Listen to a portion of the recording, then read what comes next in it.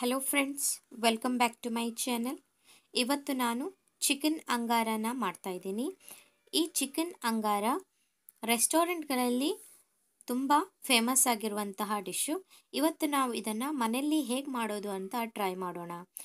ನೀವು ಈಗಾಗಲೇ ನನ್ನ ಚಾನಲನ್ನು ಸಬ್ಸ್ಕ್ರೈಬ್ ಮಾಡದೇ ಇದ್ದಲ್ಲಿ, ದಯವಿಟ್ಟು ನನ್ನ ಚಾನಲನ್ನು ಸಬ್ಸ್ಕ್ರೈಬ್ ಮಾಡಿ ಹಾಗೂ ಆದಷ್ಟು ಶೇರ್ ಮಾಡಿ. ಇಲ್ಲಿ ನಾನೊಂದು ಪಾತ್ರೆಯನ್ನು ಇಟ್ಟಿದ್ದೀನಿ. ಪಾತ್ರೆ ಬಿಸಿಯಾದ ನಂತರ ಇದರಲ್ಲಿ ನಾವು ಹಾಕೋಣ ಡ್ರೈ ಚಿಲ್ಲೀಸ್, ಒಣಮೆಣಸಿನ್ಕಾಯಿ. ಇದನ್ನು ಸ್ವಲ್ಪ ಫ್ರೈ ಮಾಡೋಣ. ನೋಡಿ, ಇದ್ರ ಕಲರ್ ಚೇಂಜ್ ಆಗಿದೆ. ಇವಾಗ ನಾವು ಇದನ್ನು ಒಂದು ಪ್ಲೇಟಲ್ಲಿ ತೆಗೆದುಕೊಳ್ಳೋಣ.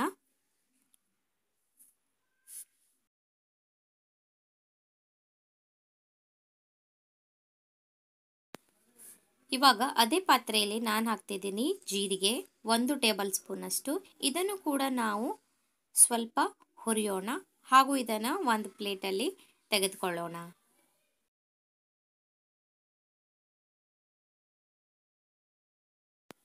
ಇವಾಗ ನಾನೊಂದು ಮಿಕ್ಸಿ ಜಾರನ್ನು ತಗೊಂಡಿದ್ದೀನಿ. ಇದರಲ್ಲಿ ನಾವು ಹಾಕೋಣ ಒಣಮೆಣಸಿನ್ಕಾಯಿ, ಹುರಿದಂತಹ ಒಣಮೆಣಸಿನ್ಕಾಯಿ, ಹುರಿದಂತಹ ಜೀರಿಗೆ, ಧನಿಯಾ ಪುಡಿ ಒಂದು ಟೇಬಲ್ ಸ್ಪೂನಷ್ಟು ಧನಿಯಾ ಪುಡಿನ ಹಾಕ್ತಾ ಇದ್ದೀನಿ.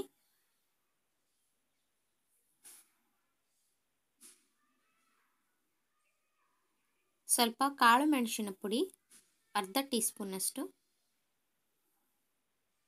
ಇದನ್ನು ನಾವು ಡ್ರೈ ಗ್ರೈಂಡ್ ಮಾಡೋಣ.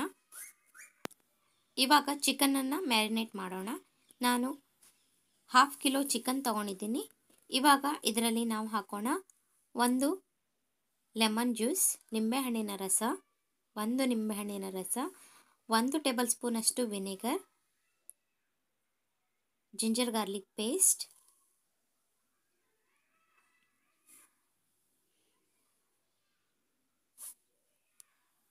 grind ಮಾಡಿರುವಂತಹ ಮಸಾಲೆ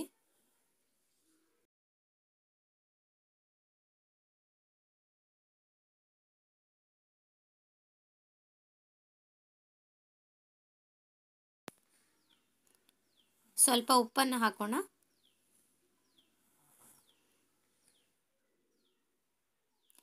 ನಂತರ ಖಾರದ ಪುಡಿ, ಒಂದು ಟೀ ಚಮಚ, ಗರಂ ಮಸಾಲ, ಒಂದು ಟೇಬಲ್ ಸ್ಪೂನಷ್ಟು ಅರ್ಶಿನದ ಪುಡಿ ಸ್ವಲ್ಪ. ಇದನ್ನೆಲ್ಲ ಹಾಕಿ ನಾವು ಮಿಕ್ಸ್ ಮಾಡೋಣ. ಚೆನ್ನಾಗಿ ಮಿಕ್ಸ್ ಆದ ನಂತರ ಇದನ್ನು ಒಂದು ಗಂಟೆಯವರೆಗೆ ನಾವು ಫ್ರಿಜ್ನಲ್ಲಿ ಇಟ್ಟು ಮ್ಯಾರಿನೇಟ್ ಮಾಡೋಣ.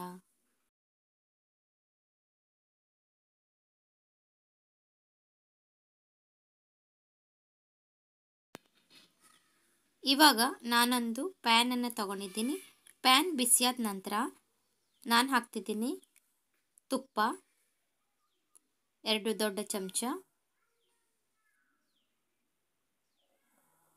ತುಪ್ಪ ಬಿಸಿಯಾದ ನಂತರ ನಾವು ಅದರಲ್ಲಿ ಹಾಕೋಣ.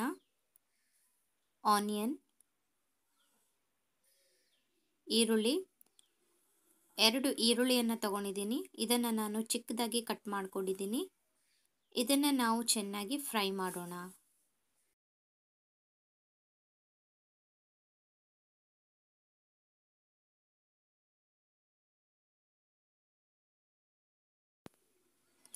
ನೋಡಿ ಫ್ರೆಂಡ್ಸ್ ಈರುಳ್ಳಿ ಫ್ರೈ ಆಗಿದೆ.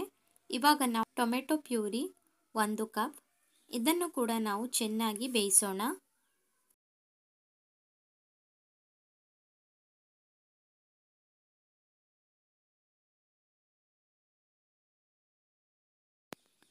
ಈರುಳ್ಳಿ ಹಾಗೂ ಟೊಮೆಟೊ ಪ್ಯೂರಿ ಚೆನ್ನಾಗಿ ಫ್ರೈ ಆಗಿದೆ. ಇವಾಗ ನಾವು ಮ್ಯಾರಿನೇಟೆಡ್ ಚಿಕನನ್ನು ಹಾಕೋಣ.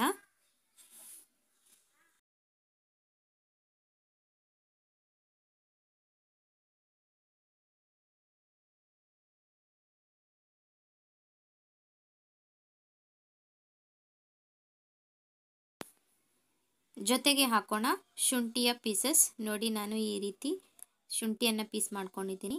ಇದನ್ನು ಕೂಡ ಹಾಕಿ ಚೆನ್ನಾಗಿ ಮಿಕ್ಸ್ ಮಾಡಿ ಬೇಯಿಸೋಣ.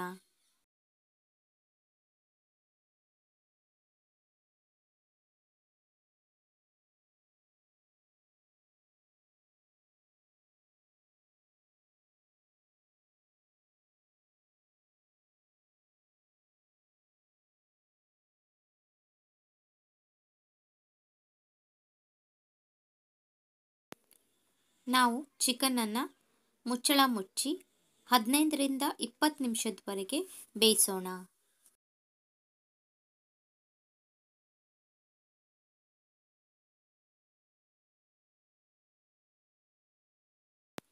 ನೋಡಿ ಫ್ರೆಂಡ್ಸ್, ನಾವು ನೀರನ್ನು ಹಾಕದೆ ಬೇಯಿಸಿರೋದ್ರಿಂದ ಚಿಕನಿನ ಎಣ್ಣೆ ಹೇಗೆ ಮೇಲೆ ತೇಲ್ತಾ ಇದೆ. ಚಿಕನ್ ಸ್ವಲ್ಪ ಬೆಂದಿದೆ, ಹದಿನೈದು ನಿಮಿಷ ಆಗಿದೆ. ಇವಾಗ ನಾವು ಇದರಲ್ಲಿ ಹಾಕೋಣ ಆಲ್ಮಂಡ್ ಆ್ಯಂಡ್ ಕ್ಯಾಶು ಪೇಸ್ಟ್, ಬಾದಾಮಿ ಹಾಗೂ ಗೋಡಂಬಿಯ ಪೇಸ್ಟ್.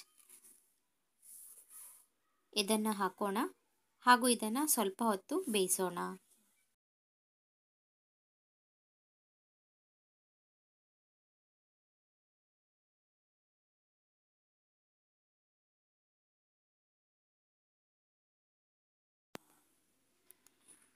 ಇವಾಗ ಸ್ವಲ್ಪ ನೀರನ್ನು ಹಾಕೋಣ. ಒಂದು ಕಪ್ಪಿನಷ್ಟು. ಹಾಗೂ ಇದನ್ನು ಸ್ವಲ್ಪ ಹೊತ್ತು ಬೇಯಲು ಇಡೋಣ.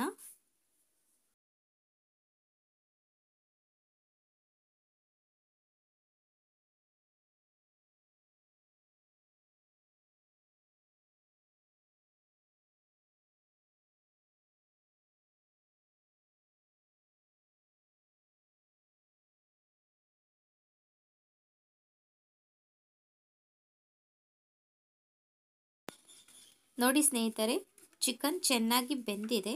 ಇವಾಗ ನಾವು ಇದರಲ್ಲಿ ಹಾಕೋಣ ಕೊರಿಯಾಂಡರ್ ಲೀವ್ಸ್ ಕೊತ್ತಂಬರಿ ಸೊಪ್ಪು, ಹಾಗೂ ಇದನ್ನು ಮಿಕ್ಸ್ ಮಾಡೋಣ.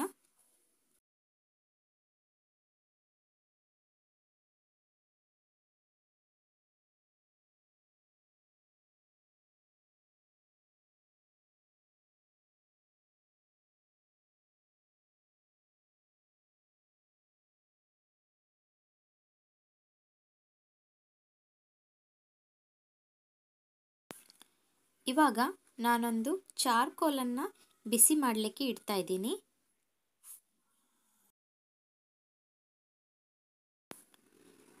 ಇವಾಗ ಈ ಕೆಂಡ ಬಿಸಿಯಾಗಿದೆ ನಾವು ಗ್ಯಾಸನ್ನು ಆಫ್ ಮಾಡೋಣ ಹಾಗೂ ಚಿಕನಿನ ಗ್ರೇವಿಯ ಮೇಲೆ ಒಂದು ಸ್ಟೀಲಿನ ಬೌಲನ್ನು ಇಡೋಣ. ಹಾಗೂ ಚಾರ್ಕೋಲನ್ನು ಸ್ಟೀಲಿನ ಪಾತ್ರೆಯಲ್ಲಿ ಹಾಕೋಣ. ಅದರ ಕೆಂಡದಲ್ಲಿ ನಾವು ಹಾಕೋಣ. ಮೂರು ಲವಂಗ ಹಾಗೂ ಒಂದು ಟೇಬಲ್ ಸ್ಪೂನಷ್ಟು ತುಪ್ಪ. ತುಪ್ಪ ಹಾಕಿದ ಕೂಡಲೇ ನಾವು ಇದನ್ನು ಲಿಡ್ನಿಂದ ಕ್ಲೋಸ್ ಮಾಡೋಣ.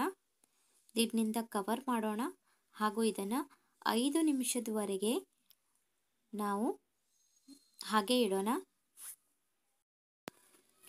ಯಾಕಂದರೆ ಕೆಂಡದಲ್ಲಿರುವಂತಹ ಹೊಗೆ ಚಿಕನ್ನಿಗೆ ಹೋಗಿ ಎಬ್ಸಾರ್ಬ್ ಆಗುತ್ತೆ. ಇದರಿಂದ ತುಂಬ ಒಳ್ಳೆಯ ಫ್ಲೇವರ್ ಬರುತ್ತೆ. ಹಾಗಾಗಿ ನಾವು ಇದನ್ನು ಐದು ನಿಮಿಷದವರೆಗೆ ಇಡೋಣ. ನೋಡಿ ಸ್ನೇಹಿತರೆ, ಐದು ನಿಮಿಷ ಆಗಿದೆ. ಇವಾಗ ನಾವು ಸ್ಟೀಲ್ ಬೌಲನ್ನು ತೆಗೆಯೋಣ ಹಾಗೂ ಚಿಕನ್ ಅಂಗಾರನ ಸರ್ವ್ ಮಾಡೋಣ.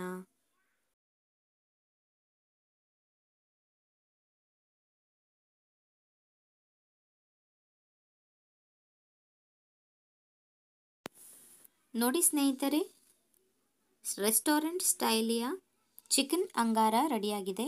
ಈ ರೆಸಿಪಿ ನಿಮಗೆ ಇಷ್ಟ ಆದರೆ ನನ್ನ ವಿಡಿಯೋನ ಲೈಕ್ ಮಾಡಿ, ಆದಷ್ಟು ನಿಮ್ಮ ಫ್ಯಾಮಿಲಿ ಫ್ರೆಂಡ್ಸ್ಗಳ ಜೊತೆ ಶೇರ್ ಮಾಡಿ ಹಾಗೂ ನನ್ನ ಚಾನಲನ್ನು ಸಬ್ಸ್ಕ್ರೈಬ್ ಮಾಡಿ. Thank you.